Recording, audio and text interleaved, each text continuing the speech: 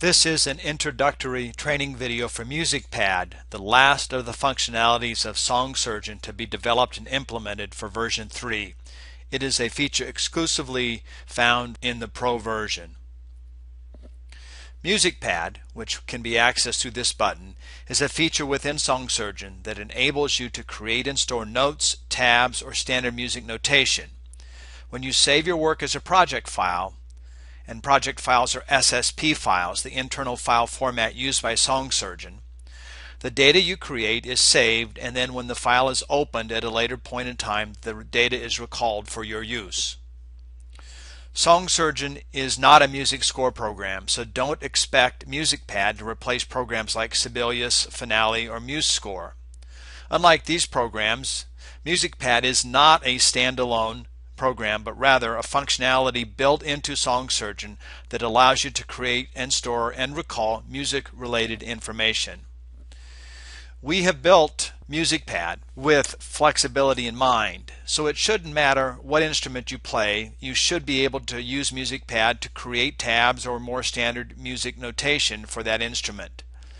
This written documentation is obviously useful when trying to learn new material and trying to recall what you practiced or worked on last time you were working with a particular song or file that you had open. You can see a picture of MusicPad here on the screen. I'd like to go ahead and just quickly take a look at some of the types of things that you can create in MusicPad. Here at the top is some tablature that was created in MusicPad for a guitar the next thing here is drum tablature and you can certainly create this in MusicPad or as I did here you can copy this type of text from many of the websites that are available that offer tabs, whether it's guitar or drum or any other type of tab, and you can copy and paste that into MusicPad. Here's another type of tablature again for a guitar, and this is something that I did not create but rather copied from an external website. Again, we're copying text, not image files. So we copy the text and we paste it into SongSurgeon and this is what it looks like. And then lastly, here's an example of more standard or conventional looking music notation or sheet music if you will. And this is something that we did create in MusicPad. And again, all of this information, once it has been created, is stored anytime you save a file. So lastly, what I'd like to do here in this introductory video is to just take a few minutes and go through the toolbars that are located up at the top here. And there are really three different toolbars. One, the first one is right here, and I call this the main toolbar, and then there is what I call the tab toolbar, and then down here is what I would call the standard music notation toolbar. So there are three toolbars and I'd like to go through each of these buttons relatively quickly with you.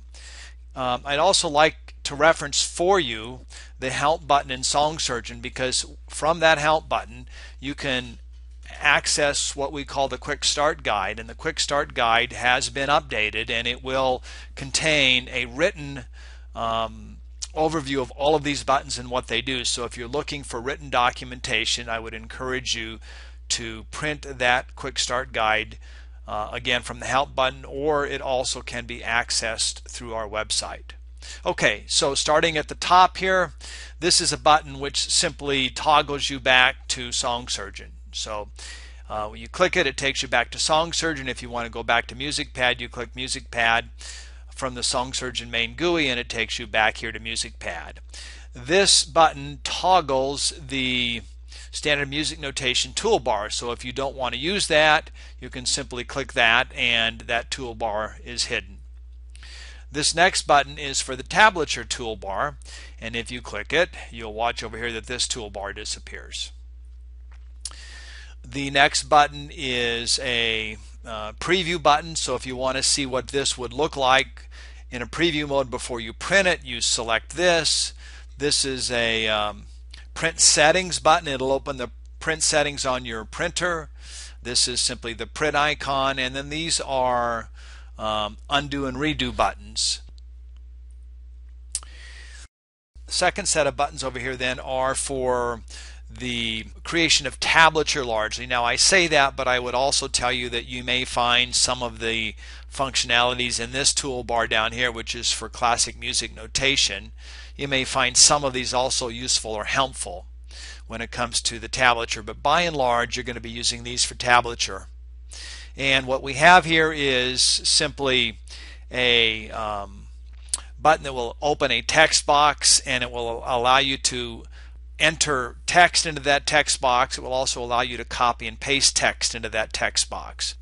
This next one is the tablature fingering chart, which essentially when you click it will allow you to draw two strings, three strings, four strings. You know, if you're doing uh, bass guitar, that's four strings. If you're doing um, uh, a dobro, for instance, it could be three strings. If you're uh, regular guitar, it could be it would be six strings, and there may be other variations. So this allows you to create um, strings um, like I did here, and you could draw two, three, four, five, six, however many you wanted to. This button is not going to appear on the version of music pad that you have. We're removing it.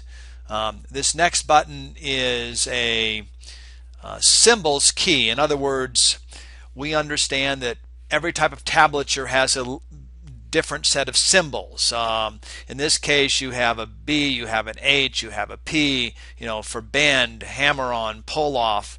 Even amongst guitarists, some of the ways in which this tablature is put together changes. So what we've done is to create a set of keys here that allows you to customize those keys. So if you wanted to refer to the the stored notation for how to interpret this tablature, it's stored in here. For example, we have preloaded guitar, drums, drum kit, cymbals, harmonica.